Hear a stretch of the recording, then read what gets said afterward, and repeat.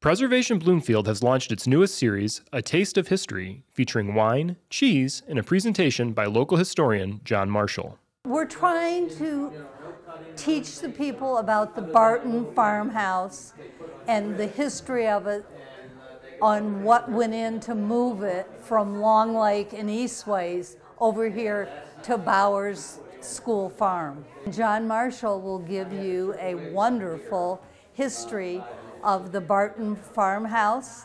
Next time we'll also get a wonderful history of the uh, Craig log cabin. And in addition to that, we'll have the maps at the end of June for the, uh, it'll be the fourth Wednesday of each month.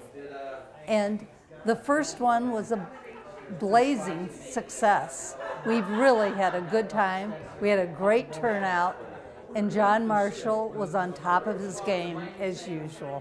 The money goes to maintain the Barton farmhouse, to pay for the electricity, uh, repairs, the uh, repainting of it, and any um, expenses that we have with the, um, you know, like any home. I think it's wonderful for our children to see what it was like in the 1840s.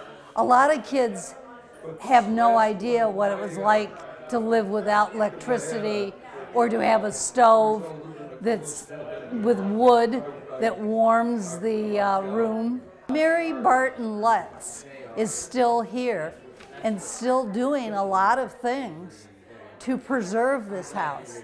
To watch John Marshall's presentation in its entirety, follow the link in the video description below.